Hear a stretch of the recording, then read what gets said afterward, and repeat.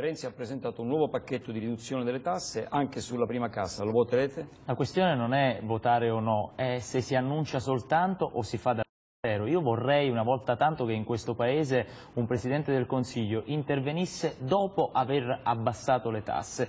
L'ultima volta che il Presidente Renzi ha detto di voler abbassare le tasse è stato a dicembre nella legge di stabilità dove poi sappiamo com'è finita, il 6% di tasse locali in più, l'IMU sui terreni agricoli, anche l'IVA sul pellet hanno aumentato e le famiglie italiane lo sanno bene perché a febbraio hanno pagato delle tasse molto esose. Poi c'è la questione di trovare 100, oltre 120 miliardi di euro, non dimentichiamo che questa manovra vale 45 miliardi di euro, quella annunciata, per la quale non credo che ci siano credibilità da parte di Matteo Renzi e deve trovare altri 60 miliardi di euro di clausole di salvaguardia nella legge di stabilità per le quali che scadono a fine anno. Quindi non è un no pregiudiziale, non vi fidate che ci siano le coperture? Ma non, non, ci fidiamo che ci siano le coperture perché sappiamo bene questo governo come ha operato in questi anni. Noi l'abbiamo visto all'opera più volte, era il governo che doveva tagliare le province, Oggi le province non solo continuano ad esistere, ma costano anche di più. Treviso, Roma, continuano scontri sulla questione dell'emigrazione. Qual è la vostra posizione? In questi anni si è voluto che ci fosse un'emergenza immigrazione in questo Paese perché c'era un lucro.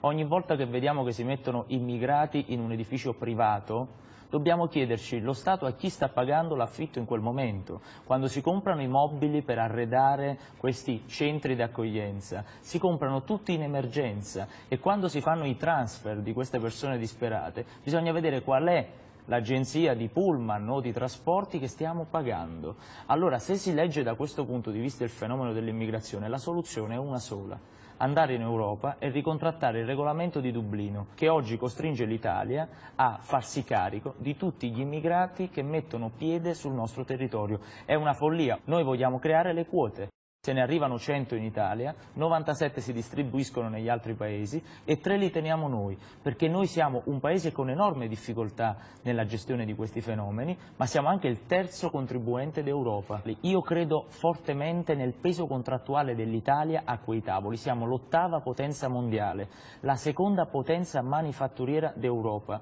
L'Europa non può fare a meno di noi. Io dico che bisogna cominciare a discutere del fatto che se siamo un'Europa solidale dobbiamo risolvere i problemi dell'Italia cosa è mancato in questi anni? Sono quattro anni che abbiamo Presidenti del Consiglio che non hanno una solidità di consenso nel popolo e quindi ai tavoli europei vengono trattati come la Cenerentola d'Europa. Euro non euro. Tsipras ha caricato un po' come Don Chisciotte e è stato sconfitto. Voi volete ancora uscire dall'euro? Noi vogliamo chiedere ai cittadini italiani se questo euro va bene. Se ci diranno di no attraverso un referendum, andremo a quei tavoli europei con un potere contrattuale in più, quello di dire guardate veniamo in nome del popolo italiano vogliamo che cambiate i trattati per cui per esempio un comune oggi che ha i soldi nelle casse comunali per colpa del patto di stabilità non può spendere quei soldi per ristrutturare la scuola, non può spendere i soldi per asfaltare le strade. Se cambiamo questi trattati l'euro può anche rimanere, se facciamo un euro a due velocità per i paesi del sud dell'Europa può anche restare e sarebbe l'estrema razio l'uscita dall'euro, ma non credo che ci arriveremo, noi siamo l'ottava potenza mondiale, l'Unione Europea senza di noi non può esistere. C'è qualcosa di cui è particolarmente orgoglioso? Orgoglioso della battaglia che ha fatto per ridurre gli sprechi qui alla Camera dove stiamo parlando. In questo palazzo si spendono 138 milioni di euro in vitalizi, con 138 milioni di euro ogni anno compriamo oltre 20 nuovi treni per pendolari,